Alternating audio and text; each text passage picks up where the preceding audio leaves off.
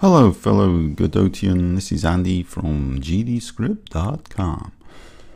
Here I'm going to show you how to remove uh, annoying error message that you get in the process delta function, which is added by default to any, any scripts.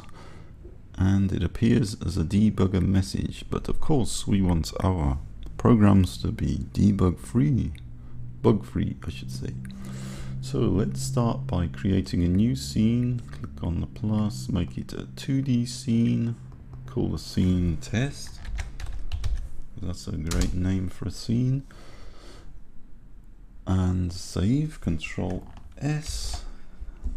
I'm gonna save as test.scene, tscn, and add a script. Click the plus, and it's gonna be called test.gd and it inherits the node and it's going to have the default template create. And we're going to wipe out things we don't want and keep just the process function underscore process I should say. And it's going to do nothing just use the path and the input by default is delta the time in seconds between frames Let's run our scene. We can do Control S just to save it, removing the star that was there. F6 or click that to run this scene by itself. I clicked the wrong one, this one. Go, go, go. Ping, it's done it. And look at that. Oh no, we have an error. The argument delta is never used in the function underscore process. Let's stop running let's add an underscore. This is the trick. Add underscore. That means we don't want to use it. And also underscore is normally uh, designating a variable as private. So if you you inherit this scene to extend it somewhere else it's uh, that value wouldn't be available as a parameter.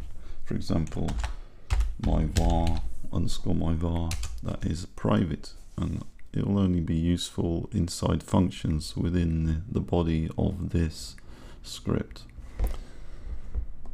Okay. So anyway we've done all we've done we've put an underscore before delta. Let's run our scene again. Play scene. And it runs and look at that output's clean we got no bugs. Way so it's pretty simple. Just put underscore before delta. If you don't want to use it if you did want to use it even though you've called it underscore delta for some weird reason you can do something like that. And we are using it. Okay that's enough for now. See you next time. Bye bye